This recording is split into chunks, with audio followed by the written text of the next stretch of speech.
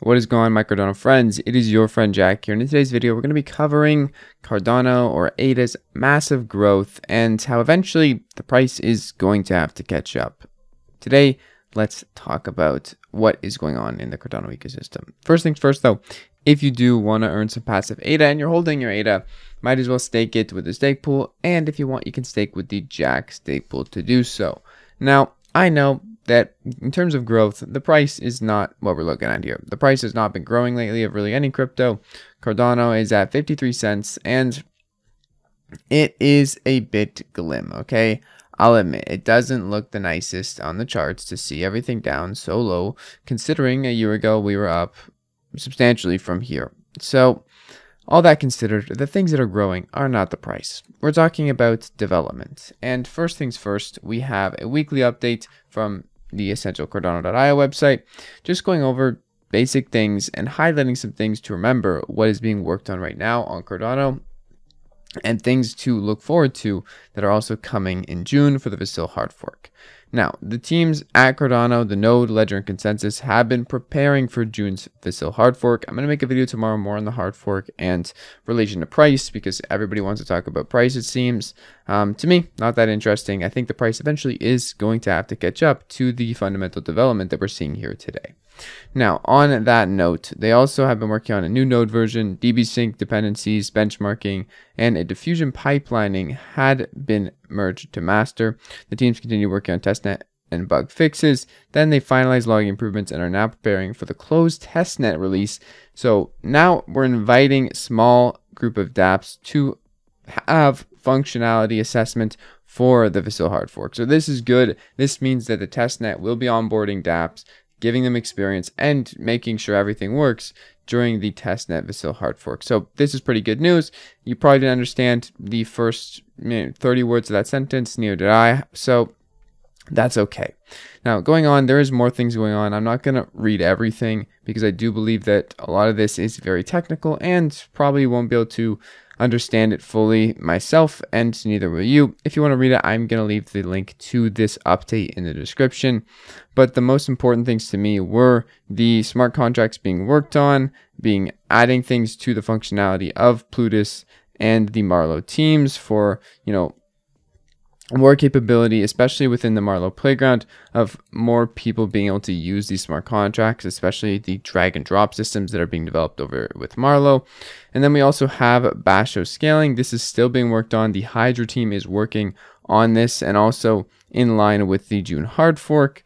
Going on, another really important factor that I want to mention for Cardano's development is governance. This is a huge part of it, and it is still being worked on. We have recently passed Fund 8, the eighth funding round, going through Cardano's decentralized governance for funding projects, Project Catalyst. And we're moving into Fund 9.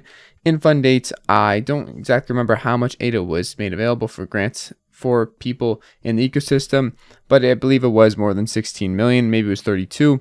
Uh, it was quite a bit of ADA, and that is funding projects on Cardano to build on Cardano. And this is happening through people with Cardano or ADA voting for those projects. So really cool, really great. And I also want to mention that among all these things, we have a lot more than just projects building on Cardano that are getting funded there, but also projects that are just taking it into their own hands. Almost 6,000 NFT projects, that's pretty insane. Almost 5 million native tokens, almost a full thousand projects outside of NFTs building on Cardano. Also, 3,132 GitHubs going strong just this week. 85 projects fully launched on Cardano. Not sure exactly what this metric is. It'd be nice to see a list. And then over 2,700 Plutus scripts. So Cardano smart contracts. Now, all these things considered, we also have to remember that Cardano has a lot of other things going for it that I almost forget about half the time. There's no burn mechanisms. No one's tokens go into the abyss, but rather people's tokens go back into the ecosystem. Whether it be through the treasury or staking rewards, people are receiving these fees to operate the network and to keep it sustainable. Right here, we have something pretty huge that I think uh, goes unnoticed that we nearly have a billion ADA in the treasury. If Cardano goes to $5, we got 5 billion US dollars in this treasury that is governed. Now you might not be able to see the numbers here. It's kind of hard for me to zoom in, But you can see the red line, it goes down to the right because the price of Cardano is going down to the right. But the blue line, the amount of ADA in the treasury has continued to go up and up over time. We have not been spending more of this treasury than we've been accumulating through fees in the network. And this is pretty huge. It's really just another thing to have in our cockpit of tools or arsenal things that will make Cardano sustainable long term, especially having this developed and being able to be bought and used and spent through things like Project Catalyst, aka decentralized governance. Now, moving on from just the basic Cardano developments that everyone should be reminded of every once in a while, scaling, treasury, you know, governance in general, huge three things that just kind of stay there and people don't mention. People focus on NFTs and things. Now we're going to be shifting to more NFTs and things, but this is pretty cool. Having a way to onboard users via Visa and MasterCard payments for NFT makers, NFT payment gateway. This is going to allow a lot more people who aren't so tech savvy to buy NFTs. They are going to, of course, have to figure out how to use a wallet and how to do things. But in general, having this option opens a whole new branch of Cardano for people who don't want to just buy Cardano, switch to a wallet. They want it one click done and everything's done for them at first. This is that option. And I really like where NFT Maker is taking it. So I'm pretty excited for that. And I thought I should mention it. Another thing in terms of NFTs, we do have Liqwid Labs, one of the top, I'd say, um, most notable uh, or ex excited for uh, projects on Cardano that's coming out on mainnet hopefully this year. Um, and we have a non-custodial liquid protocol for lending and borrowing Cardano. I have done videos on Liqwid. They're going to have up to 9x yield streams, um, some crazy interesting things going on here.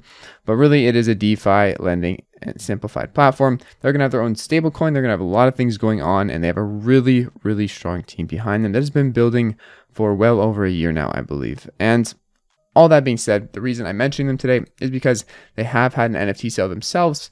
This NFT sale, I did get some myself, but mainly because NFTs from this set get you a bonus of 2 to 5% uh, on your staking rewards for the Liqwid platform. So I thought I'd mention it now um, just before if they get too crazy because if Liqwid is a success, their token is very expensive right now. I believe their token's like 80 to 90 ADA uh, for one LQ.